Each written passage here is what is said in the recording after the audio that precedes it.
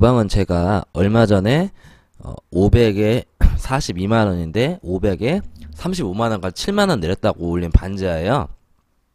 어제 여기 그 임대인 사모님이 연락 와서 요즘에 좀 월세 손님이 좀 뜸한 것 같기도 하고 요즘에 지상층에 전세들이 몇 개 있거든요. 그래서 일단 여기 반지하를 전세도 주신다고 합니다. 전세를 주고 나중에 지상층의 뭐 전세가 나가면 월세로 바꾼다고. 그래서 똑같이 월세 500에 35에 관리비 5만원 이것도 되고 전세는 대출됩니다. 대출되고 1억으로 생각을 하고 계십니다. 근데 1억인데 잘하면 조금 내고가 될 수도 있을 거는 같아요.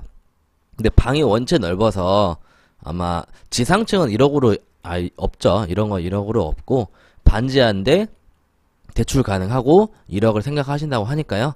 월세도 되고 전세도 됩니다. 그러니까 자 급하게 영상은 그냥 월세방으로 재활용하고 혹시 이 영상을 지- 지금 소리가 안 날 거예요. 제가 어, 영상 끝나고 뒤에다가 또 뜨게 할 테니까 자세한 거는 그 뒤에 영상을 보시고 참고하시면 될 것 같습니다.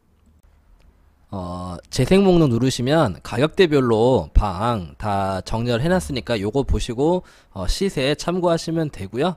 그리고 저희가 사무실에 저랑 대표님이랑 유튜브를 각각 운영하고 있어서 어, 제 걸 보신 분은 저한테 연락을 좀 주시기 바라겠습니다. 여기까지.